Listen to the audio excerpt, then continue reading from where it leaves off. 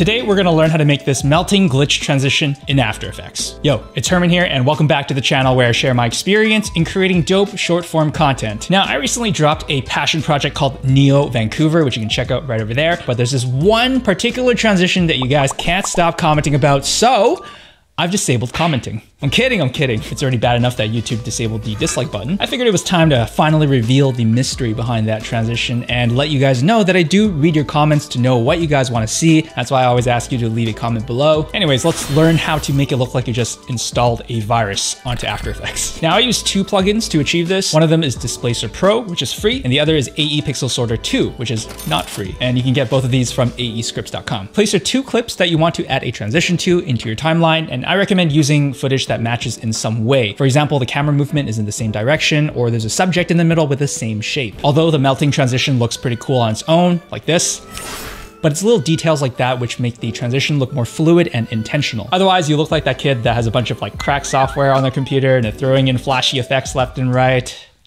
I used to be that kid. Don't be like me. Now apply Displacer Pro to the first clip and change the map layer to the second clip that you want to melt into. There are a few parameters that you'll have to play around with because it'll highly depend on your footage, but the main one is under transform. Now, if you want it to melt up or down, keyframe the translate Y accordingly. Translate X is for left and right. You can also play with the displacement easing for a different feeling and keyframe the displacement offset if you're wondering why all your pixels won't leave the screen. You can also add some chromatic aberration by playing with the RGB values because we all know it's not really a glitch effect without some chromatic aberration. Next, make an adjustment layer and apply the Pixel Sorter plugin. Now you can play with each parameter to see what it does, but I mainly pay attention to the angle, which affects the direction of the effect, and also the threshold, which affects the strength. Keyframe the threshold until you have something that looks cool, and if you're wondering why it looks like a streaky mess, you could try changing it so that it affects your shadows instead of your highlights. You could also keyframe some noise so that there's more of those pixels for it to grab onto. Don't be afraid to bump the number up to really enhance the glitch. Oh god! To continue the motion of the pixel sort, I keyframe the sorting so that it will invert during my transitional moment. In my case, I have it inverted at the start and then I turn it off when it's becoming the galactic sphere thing. Play it back and adjust the keyframes if necessary. If you want the middle object to glitch a little bit, like in my Neo Vancouver video, then you can mask your object out, apply a mini-max effect, keyframe the radius, and then use some glitchy footage as a luma matte to get a little bit of that flicker action going on. And there you go. That's how you make a sick melting glitch effect. Now, there's a lot of ways that you can use this, but I always suggest having the right motivation for using transitions and effects. For example, using this for a traditional wedding video would feel a little bit weird. Well, I think it will look pretty dope, but the married couple might not unless